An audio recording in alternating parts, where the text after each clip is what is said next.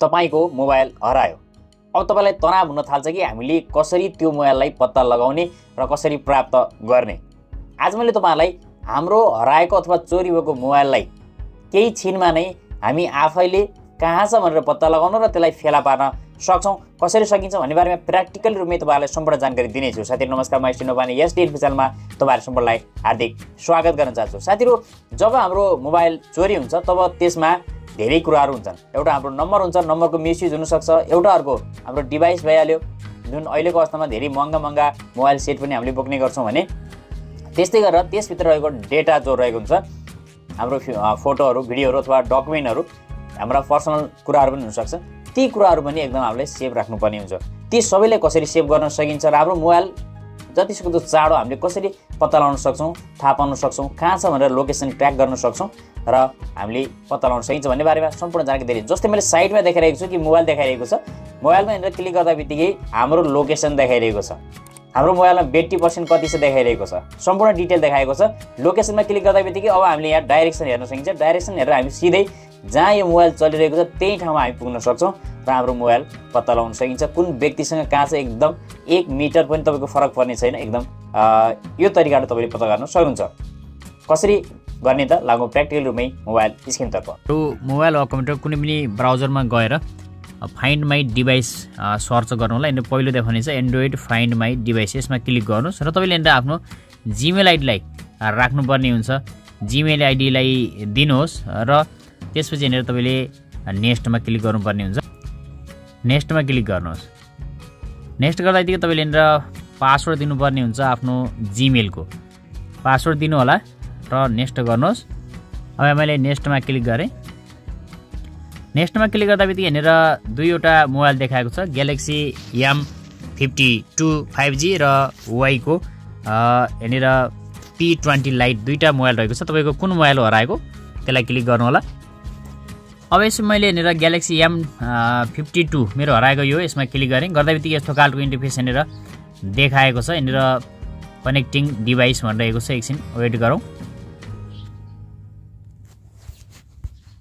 सेटिङमा जान सकिन्छ। सेटिङमा गएपछि डिभाइस नेम आइएमए नम्बर अनि फर्स्ट रजिस्टर्ड भनेको छ। बाइस नोभेम्बर चारमा रजिस्टर भएको रहेछ यो।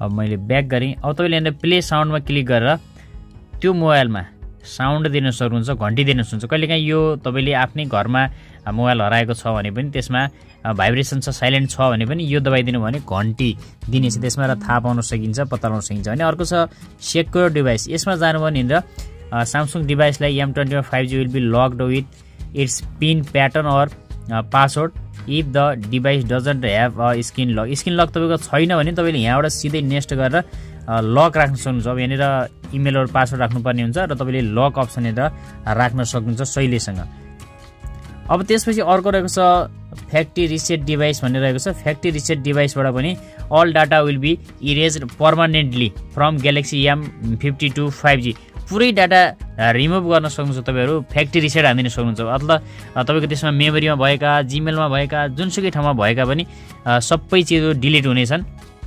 तपाईँले अरूले मोबाइल मोबाइल चाहिँ प्रयोग नगरोस् अथवा हाम्रो डाटाहरू लिक नहोस् भन्ने चाहनुहुन्छ भने यो तरिकाले जान सकिन्छ। अनि नेक्स्ट गर्दा बित्तिकै तपाईँले पुनः इमेल र पासवर्ड राख्नुभयो भने त्यो पनि रिसेट हुनेछ। अब सबै अप्सन यहाँनिर कनेक्टेड भएको छ। लास्ट सिन जस्ट नाउ भएको छ। अहिले कनेक्ट भएको छ। यो डिभाइस यहाँ लोकेसन देखाइरहेको छ। अनि प्ले साउन्ड गर्न मिल्छ। एनसेलको सिम लागेको रहेछ यहाँनिर हेर्नु होला र एट्टी सिक्स पर्सेन्ट ब्याट्री अझै पनि मोबाइलमा रहेको छ। सम्पूर्ण डिटेल यहाँ देखाइरहेको छ। अब हामी लोकेसन हेर्नेछौँ माथि नै लोकेसनमा यसमा क्लिक गरिदिन्छौँ। मोबाइल जो देखाएको छ यहाँनिर। मैले यहाँनिर ल्यान्डस्क्याप मुड गरेको छु। यहाँनिर जुन देखाइरहेको छ हेर्नु होला म्यापमा कहाँनिर देखाइरहेको छ भन्ने कुरो तपाईँ हेर्न सक्नुहुन्छ। फुल पर्दा मैले हेर्ने गरेको छु। कहाँ छ भने यो श्री नागेश्वर शिव मन्दिर बन्ड इङ्ग्लिस पबेरा को साइडमा हेरेर यो साइडमा यहाँ छ अहिले यो मोबाइल एकदमै हेर्नुपर्दा। अब यसमा म यहाँनिर साउन्ड दिन गइरहेको छु। यहाँनिर प्ले साउन्ड गर्दा बित्तिकै उहाँ घन्टी जानेछ। घन्टी बजिरहेको छ उता। शैलेसँग घन्टी बजेको छ। कनेक्टेडै छ डिभाइस। यहाँ लोकेसन हामीले हेरिरहेछौँ लोकेसन हेर्दाखेरि यो ठाउँको पबेरा बोन्ड स्कुलदेखि यताको यो चोकमा यहाँनिर मोबाइल चाहिँ रहेको देखिन्छ यसरी। म्याप इज नाउ फास्टर भनेको छ। ओके गरिदिन्छु म यहाँनिर। यो ठाउँमा यहाँनिर मोबाइलको लोकेसन यहाँ देखाएको छ म हेर्न चाहन्छु पुनः। मोबाइलको लोकेसन यहाँ हेर्नु होला मोबाइलको लोकेसन यहाँनिर हसुलिया चन्दन चौकी भनेर देखाएको छ यहाँनिर। चन्दन चौकी नजिक यहाँनिर देखाइरहेको छ यसरी। यो यो जुन लोकेसन रहेको छ म यहाँ क्लिक गर्न गइरहेको छु लोकेसनमा। यसरी देखाएको छ लोकेसन फुलबारीदेखि थोरै अगाडि। यसलाई म सेयर गर्नेछु यहाँनिरबाट यो लोकेसन जहाँ हराएको छ त्यहाँको साथीलाई पठाएर पनि हेर्न लगाउन सक्नुहुन्छ। यो माध्यमबाट हराएको मोबाइल आधा घन्टामा नै फेला परेको छ तर यसका लागि के के कुरा आवश्यक हुन्छ? भिडियोलाई अन्तिमसम्म हेर्नुहोला साथीहरू अब हामीले यो सम्पूर्ण प्रक्रिया गर्नका लागि हामी पहिला नै सचेत हुनुपर्ने हुन्छ। सचेत केमा हुनुपर्छ भने हामीले आफ्नो जिमेल आइडी एड्रेस र पासवर्ड चाहिँ दुइटा हामीलाई याद हुनुपर्छ पहिलो कुरा। र जिमेल र पासवर्ड याद भइसकेपछि अर्को कुरा के रहन्छ भने हाम्रो मोबाइलमा इन्टरनेट कनेक्सन र जुन लोकेसन रहेको हुन्छ लोकेसन तपाईँले माथि मोबाइलबाट हेर्न सक्नुहुन्छ लोकेसन चाहिँ अन हुनुपर्छ। यो दुईवटा काम भयो भने अनि मात्रै तपाईँले हेर्न सक्नुहुन्छ तपाईँको मोबाइलमा डेटा अथवा वाइफाई कनेक्ट भएमा तपाईँको एकदम रियल लोकेसन आउँछ।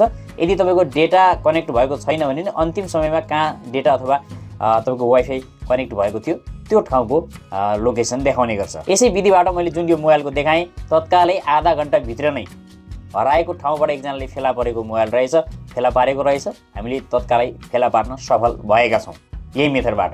त्यसैले गर्दाखेरि आजको यो भिडियो तपाईँलाई कस्तो लाग्यो? भिडियो इन्फर्मेटिभ लागेको छ भने भिडियोलाई लाइक गर्नुहोला च्यानललाई सब्सक्राइब गर्नुहोला र साइडमा रहेको बेलायकनलाई प्रेस गर्न पनि नभुल्नुहोला। साथै आगामी दिनमा यस्तै खालको अपडेटहरू तपाईँले छिटोभन्दा छिटो पाउनको लागि बेलायकनलाई प्रेस गर्न भुल्दै नभुल्नुहोला भन्दै आजको यस जानकारीमूलक भिडियोबाट बिदा हुन्छु। हस्त धन्यवाद।